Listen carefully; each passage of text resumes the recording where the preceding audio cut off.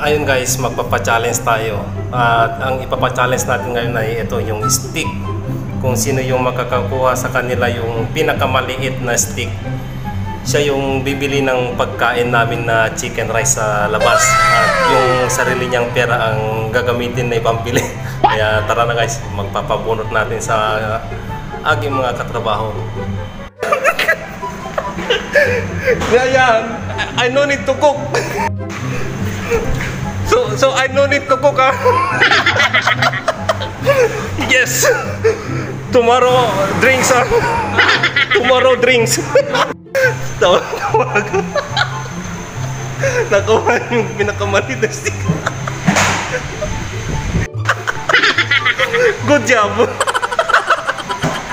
Ayun guys, siya yung nakakuha ng pinakamalit na stick kaya siya yung bibili ng pagkain namin na chicken rice at pinakakainin namin ngayon. Ganun lang kasimple para makakuha ng libre na pagkain guys. Bibidyo natin mamaya pag nakabili na siya ng pagkain namin. Andito na ata yung katrabaho ko guys na nakabunot ng maliit na stick. Tara, abangan natin sa labas guys. Ayun, nasunod.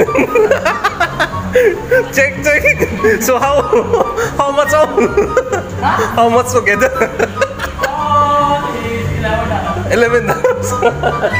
Itang Ito na yung pagkain namin guys. Tingnan natin kung legit ba na chicken rice nga talaga. oh, wow, yan. Chicken rice talaga yung binili niya. See? So easy. Ayun guys, ganun lang kasimple.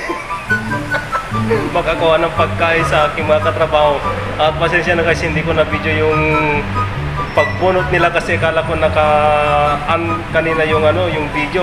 Video ko, hindi pala na, kaya hindi na ko nakunan. kaya maraming maraming salamat sa panonood nyo guys. Peace out.